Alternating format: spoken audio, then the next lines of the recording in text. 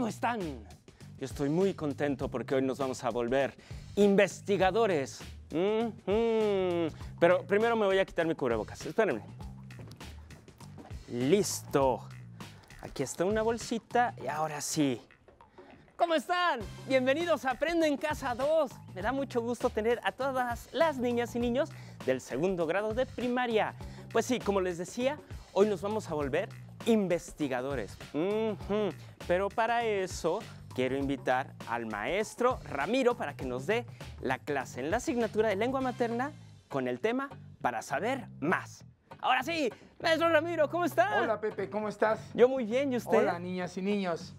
Ah, un saludo Hola. con el corazón a usted, a el todos. cubrebocas. Sí, claro. ¿Sí? Y vamos a dar inicio a esta investigación.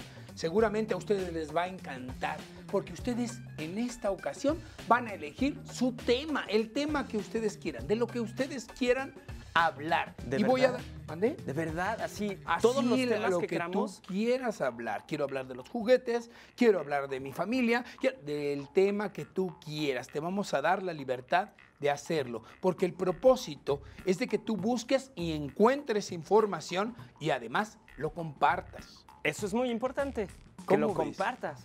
De hecho, eh, tenemos un ejemplo. Fíjense que Pepe me pidió hace unos días que yo le ayudara con la tarea de Jorge. Jorge es su sobrino. Y vamos a ver qué tema, qué tema es el que escogió Jorge. Corre video. ¿Qué sabes del COVID?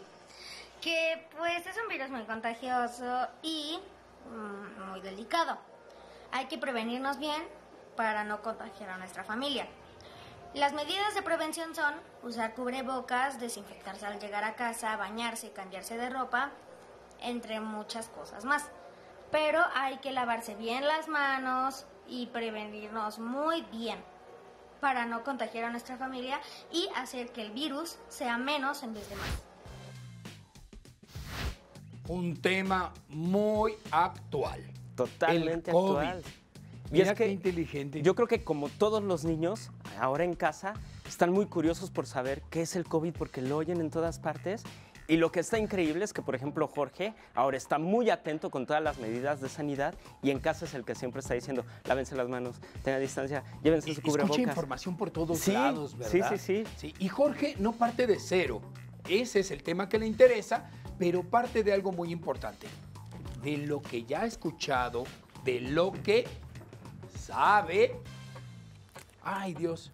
Agarré otra, pero bueno, vamos a empezar con este, ¿sí? De lo que sabe Jorge. Y vamos a analizar. Ustedes lo, también lo tienen que hacer en casa después de escoger su tema.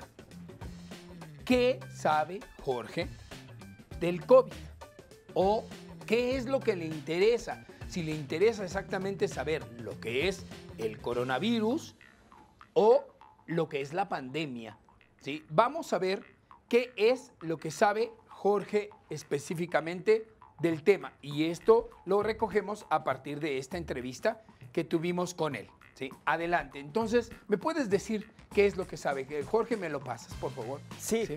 Ah, lo que sabe Jorge es que el COVID es un virus muy contagioso y delicado. Ahí va. Esto es lo que nos está diciendo Jorge de lo que escuchamos. Es un virus muy contagioso y delicado. Pero Jorge tiene algunas dudas, entonces haríamos otra, otra columna en la que nosotros vamos a ver qué dudas tiene Jorge sobre de esto. Y las dudas que yo veo que él tiene es que no sabe qué es una pandemia o qué es la pandemia del COVID-19. Esto es lo que él tiene que averiguar. Parte de lo que sabe y después va a averiguar qué es la pandemia por COVID-19. También él, yo noto que le hace falta, esto se pueden auxiliar ustedes, niñas y niños, con sus mamá, con su mamá, con su papá, con su abuelita, con sus hermanos, para que les ayude a encontrar lo que quieren saber más. ¿Qué es un virus? ¿Y cómo es un virus? Y aquí se pueden ustedes auxiliar de libros, de revistas, de el periódico, de carteles, de especialistas, de eh, eh, folletos, de, de- bueno, hay diversas fuentes en las que ustedes pueden auxiliarse. Y si tienen oportunidad, hasta por un medio electrónico también ustedes lo pueden encontrar. En- hay información por todos lados. Nada más hay que cuidar bien qué información es la que quiero yo este, eh, averiguar. Por ejemplo, si yo tuviera a lo mejor en mi celular, en alguna página sobre definiciones. Por o- ejemplo, ahí podrían buscar ver, a- qué es el coronavirus. Yo aquí dejé mi Sí. celular, casi Sí. no lo uso en las Mientras clases. vamos a ver qué más. Pero mientras, mientras- buscas tú, Yo voy a buscar entonces la definición para ayudarle a Jorge. Muy ¿qué bien. más sabe Jorge? A ver, vamos a Jorge ver. sabe que hay que prevenirnos bien para no contagiar a nuestra familia. Eso lo ha escuchado seguramente en otro medio informativo, en la televisión. O lo ha escuchado entre sus parientes también, ¿verdad? Sí, ya encontraste. Ya encontré una definición. A ver, Miren, aquí dice, ¿qué es un virus? Los virus son microorganismos muy pequeños, pero no son seres vivos. Los virus se hospedan en los seres vivos causando diversos síntomas, como es el caso de la gripe. Entonces, cuando nos da gripe, tenemos un virus. A ver, a ver, despacito, de, a ver, Despacito. otra vez, Iba ¿qué yo es el virus? El virus. Eh, miren, lo que estoy haciendo exactamente es que ustedes tienen que elaborar fichas de la información de donde lo sacan. Lo sacaron de internet y es más, las van hasta numerando, ¿sí? Las van numerando ustedes. Para que no se pierdan. Entonces Muy aquí bien. voy a poner que es un virus, y después voy a poner puntualmente la definición. Algunas veces puedo poner lo que yo interpreto, pero tienen que tener mucho cuidado, que no vayamos a falsear la información, a poner una cosa que no es correcta. Como es una investigación muy seria, tengo que ser muy puntual en lo que yo voy a escribir en mis fichas e irlas guardando. ¿Por qué? Porque estas fichas son las que me van a ayudar a que cuando yo le comente a otra persona o lo exponga, ustedes cuando estaban en clase lo, expon- lo exponían ante sus eh, compañeros. Ahora lo pueden exponer ante sus familiares. ¿Qué les parece? Muy ¿Sí? bien, entonces hay que tener toda esta información guardada en fichitas por si en algún momento tenemos que volver a ellas. Así es, porque además van a ser como lo que llamamos tradicionalmente nuestro acordeón.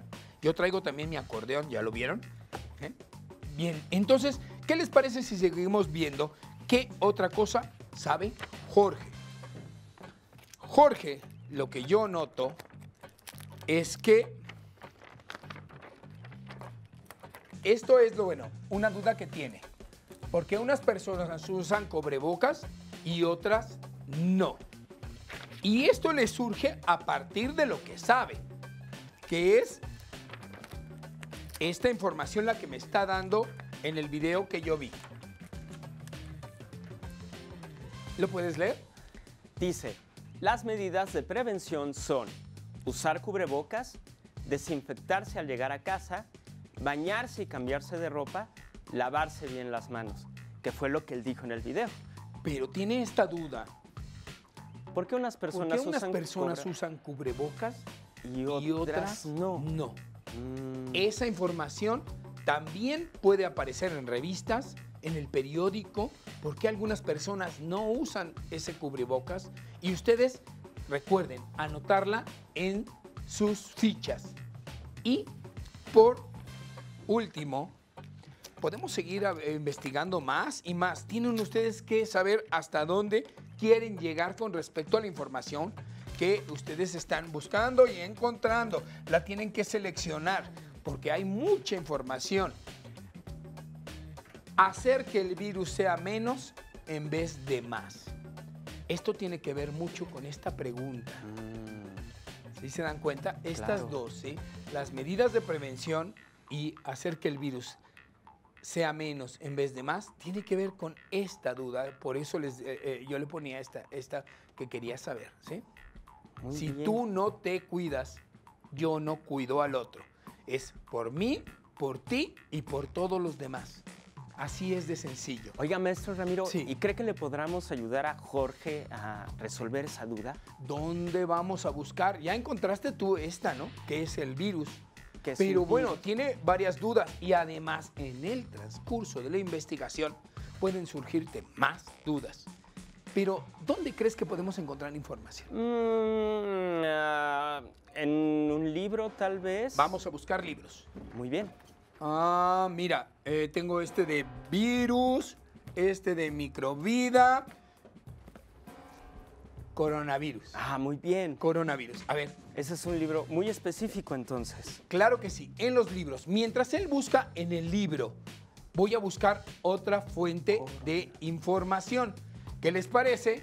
Sí, en las, eh, habíamos quedado que podía ser en las, en, en las revistas, en las revistas. Ah. Sí, vamos a ver, acá hay otra revista. ¿Sí? ¿Ya encontraste? Ya, ya ¿Sí? encontré, A ver, sí. ¿qué fue lo que encontraste? Mire, aquí dice, ¿qué es el coronavirus? Dice, los coronavirus son una familia de virus que causan enfermedades, desde el resfriado común hasta enfermedades respiratorias más graves, y circulan entre humanos y animales. Muy bien, en este caso se trata del SARS-CoV-2. Apareció en China en diciembre pasado y provoca una enfermedad llamada COVID-19 que se extendió por el mundo y fue declarada pandemia global por la Organización Mundial de la Salud. ¿Te das cuenta que ya estamos Sí, resolviendo estas dudas? Ya viste que es el virus, Ajá. ya viste también que es el coronavirus, que estamos exactamente acercándonos más a lo que es una pandemia, ¿no? Y ahora, Mm. si ustedes no entienden bien lo que es la palabra pandemia, ¿dónde lo podemos buscar? En un En diccionario. un diccionario, ¿te acuerdas que anteriormente ya estábamos jugando con ello? Sí. ¿Recuerdan ustedes, niñas, niños? Sí, en un diccionario. ¿Y qué te imaginas que es lo, lo que es una pandemia? ¿Sí? Una pandemia es cuando es una epidemia, pero que le llega a todo el mundo. A, a los individuos, a varios países, todos. es decir, se expande por este, varios individuos o por un grupo o una localidad. En este caso, pues nos ataca a todo el mundo. Ahora, ¿qué tengo que hacer con esa información? ¿Lo recuerdas? Sí, ¿se acuerdan?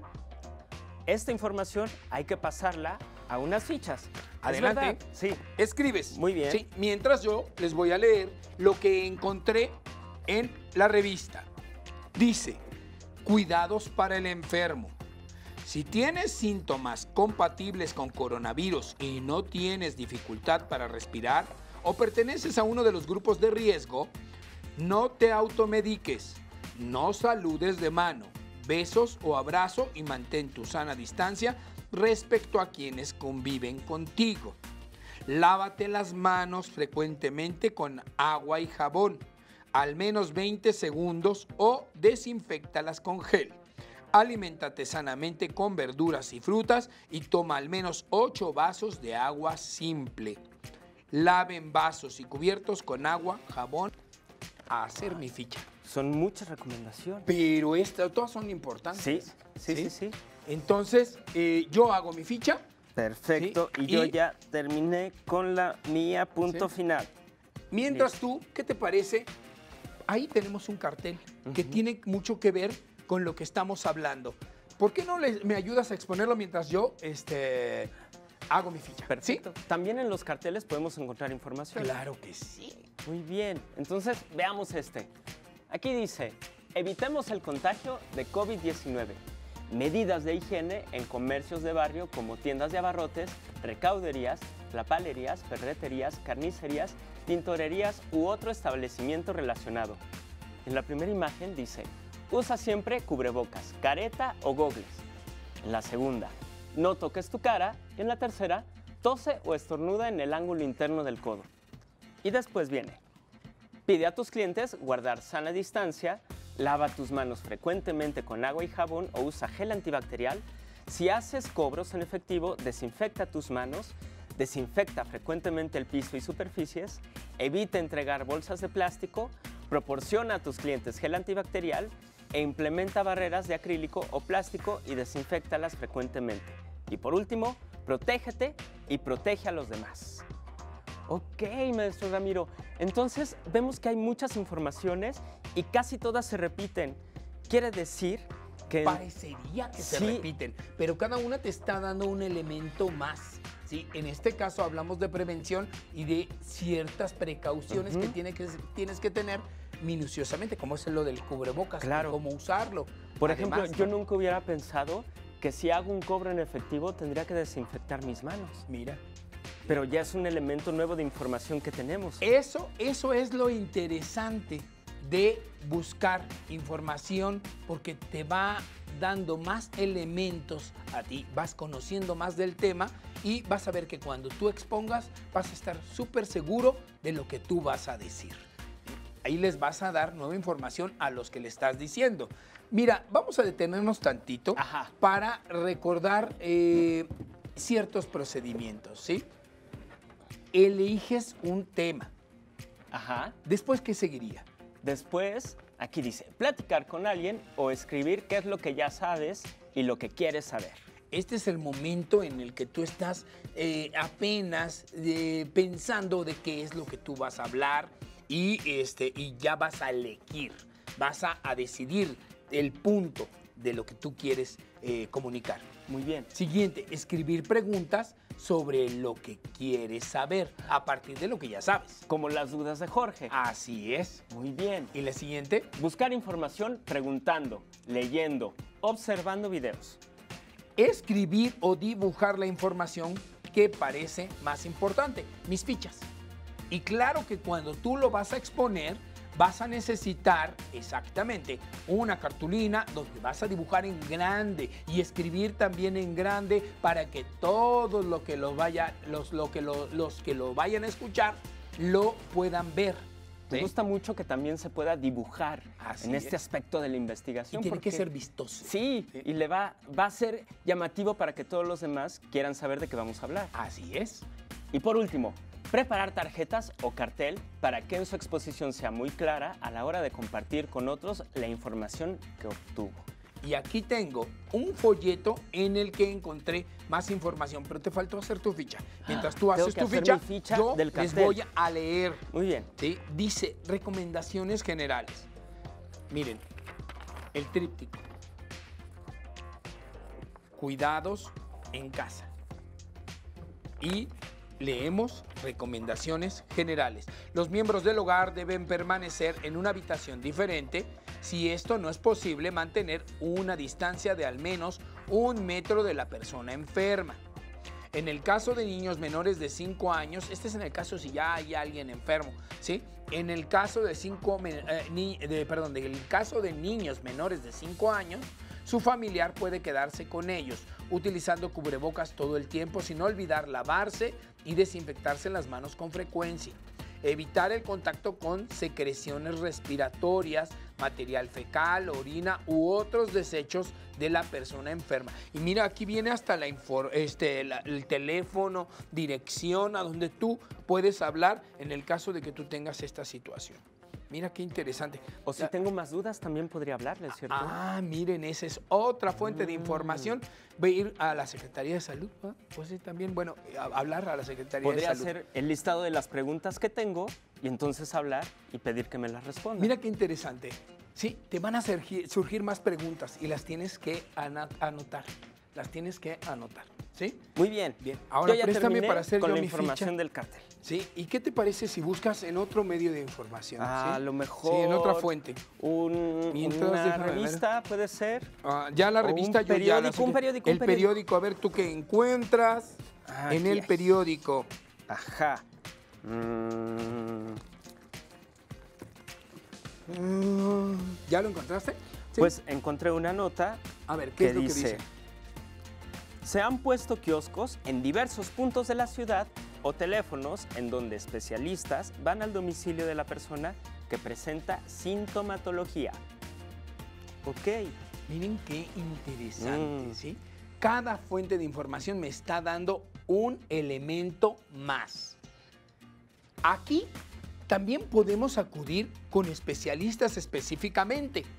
Por ejemplo, los médicos, que son lo que, eh, los que están estudiando esta, esta situación de la pandemia y el COVID. Entonces, ¿qué les parece si escuchamos a uno de nuestros médicos qué nos dice y yo voy a tomar nota. Tú también toma nota para que... eh, Perfecto. eh, Yo aquí tengo mi lápiz. así captemos más del asunto. Va. Adelante, nuestro especialista, el médico. Los coronavirus se transmiten a través de una persona enferma hacia otra, mediante las gotas de partículas que generamos al hablar, al toser o al estornudar. También tenemos que identificar si yo tengo contacto directo con una persona que está infectada y esta no haya hecho higiene de manos, yo tengo el riesgo de infectarme. Recordemos también que si tocamos superficies contaminadas, también tenemos el riesgo de contagiarnos. En la actualidad, no hay un tratamiento específico para COVID-19. Tenemos que identificar que todos los tratamientos que se están otorgando son para garantizar la disminución y el control de todos los síntomas. Tenemos que recordar que el COVID-19 es una enfermedad nueva, es un virus nuevo. Por tal motivo, no hay una vacuna para poder prevenirlo. En la mayor parte de todos los casos de COVID-19 son síntomas leves. Por tal motivo, mi cuerpo garantiza una protección o una recuperación de por lo menos en dos semanas. Recordar el uso de cubrebocas siempre en todo momento, asimismo la higiene de manos, para garantizar la protección de nosotros y de todo nuestro entorno que podamos tener. Tenemos que identificar que el uso del cubrebocas es tener la protección de la nariz y también de la boca. En caso de no contar con un cubrebocas, puedo utilizar un pañuelo, una bufanda o inclusive un trapo como tal. Recordemos, si yo no tengo síntomas de coronavirus, quédate en casa. Muy bien, maestro Ramiro. Entonces también en videos podemos sacar información, como en este caso, que el médico nos dijo todo lo que él sabía sobre los virus y que a nosotros nos está complementando la información. En este caso sí en los videos, ¿no? Pero en realidad fue una entrevista. Pero bueno, la situación no nos permite ir a, a los lugares para entrevistar, entonces pues hasta lo pueden hacer, si es posible, por medio un medio electrónico, ¿no? Como en este caso. Vamos a recapitular, ¿sí? Algunas recomendaciones importantes. ¿Me ayudas, por favor? Escribir y hacer dibujos sobre los datos que resulten importantes. Tenemos que ir siempre capturando la información porque la tenemos que seleccionar. No es leer y copiar nada más, sino entender la información y poner muy cuidadosamente para que no cambie los datos ¿sí? y no vaya a decir una cosa por otra. Ay, perdón, por otra. ¿sí? Así es. La siguiente. Escribir las nuevas preguntas. Recuerden, siempre van a salir más dudas, a surgir más dudas. Siguiente. Escribir las nuevas preguntas es porque nos van a surgir siempre más y más y más. Muy bien. La siguiente sería buscar información que nos permita resolver nuevas dudas. Entonces, aquí tienen toda la diversidad de estas, de estas fuentes que nosotros estamos presentando en este momento. Y el eran siguiente, libros, eran revistas, periódicos, El carteles, carteles, el el internet, folleto, folletos, videos, hay muchísimos lados. en fin, la televisión, que también, También. ya decíamos. Y por último, elaborar fichas de palabras nuevas. O sea, claro. ¿qué es lo que estamos haciendo Así ahorita? Copiando todo de los periódicos, Y de no te hagas que no has hecho esa. Ah, Así ah, que sí, adelante. Mientras yo voy a darles cierto consejo cuando ustedes expongan. Para hacer una exposición clara de un tema, de hecho, esto lo vieron en sesiones anteriores. Vamos a, a puntualizar. Tienes que conocer el tema, preparar tarjetas con enunciados o imágenes acerca de la información más importante que vas a exponer. Al iniciar, anunciar el tema que vas a exponer. Usar las tarjetas o carteles para recordar la información. Mostrar tarjetas o carteles con imágenes a las- personas que escuchan. Esto es muy importante. Estás ilustrando lo que tú quieres comunicarles. Poner atención a preguntas y comentarios de las personas que escuchan. Si no es posible, contestar a preguntas, anótalas para buscar información y contestarlas posteriormente, porque te van a estar preguntando eh, para que ellos sepan más del tema. Y tú, bueno, a veces no vas a saberlo todo, pero sí les puedes decir, ¿saben qué? Lo encontré en tal libro, lo encontré en tal revista, en tal periódico, o se lo pregunté a mi mamá, o se lo dije, me lo dijo un médico, y así es como yo voy a proporcionarles, a decirles los este, la información que yo encontré. ¿Y sabe cuál va a ser nuestra arma secreta como ¿Cuál? investigadores? Tener las fichas a la mano, porque así, si de repente dudo en la información, puedo regresar a mi ficha, puedo volver a leerla y entonces así quedo seguro de lo que estoy diciendo. ¿Cómo ve, maestro Ramiro? Pues yo creo que con esto ya ustedes están listos para empezar a trabajar su tema. ¿O qué más les podemos decir? Pues nada más, a ser investigadores, a buscar un tema, a tener muchas dudas y a encontrar toda la información que nos va a hacer todos unos conocedores en ese tema. No olviden, niñas, niños, por favor, de llevar sus dibujos grandes.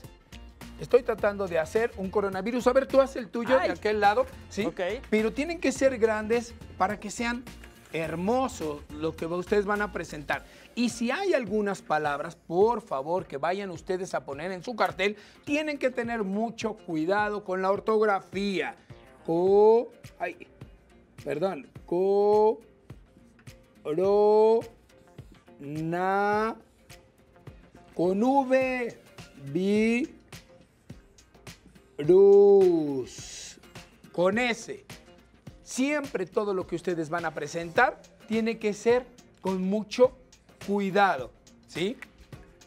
Como es una palabra que continúa y yo la separé porque no me alcanzó, pues se pone generalmente un guion, ¿sí? Bien, pues ¿qué te parece? Ay, a ver cómo te quedó. Ya hasta lo hice una carita. No pasó nada, aquí no pasa nada, todo, todo está muy bien. Pues con esto terminamos el tema de buscar y encontrar información, además de compartirla. Muchísimas gracias, maestro Ramiro. Es muy interesante todos los pasos que tenemos en cuenta para poder ser unos grandes investigadores. Y bueno, si te es posible, consulta otros libros y comenta el tema de hoy con tu familia. Si tienes la fortuna de hablar una lengua indígena, aprovecha también este momento para practicarla y platica con tu familia en tu lengua materna. Por hoy hemos terminado con Para saber más de tu asignatura Lengua Materna de segundo grado. Espero lo hayas disfrutado tanto como nosotros.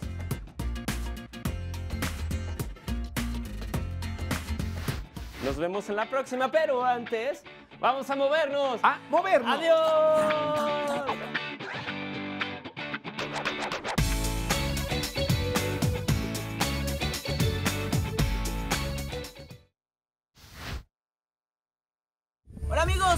Soy Romel Pacheco y el día de hoy vamos a hacer un poquito de ejercicio. Vamos a empezar moviendo la cabeza.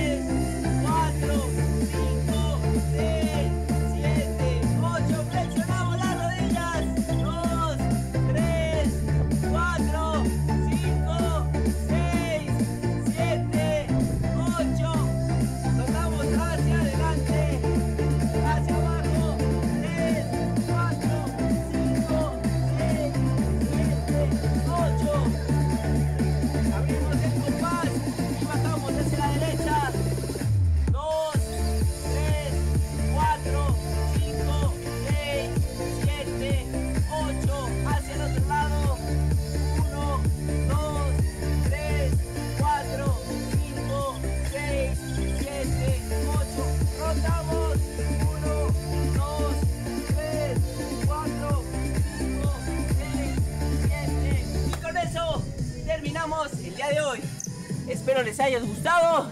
Sigan estudiando y haciendo ejercicio. Se despide su amigo Rommel Pacheco. Si necesitas ayuda para resolver tus dudas, contáctanos. También puedes encontrar los libros de texto en la página conalitech.sep.gov.mx. Si quieres volver a ver los programas de Aprende en Casa, los puedes encontrar en la siguiente liga: aprendeencasa.sep.gov.mx.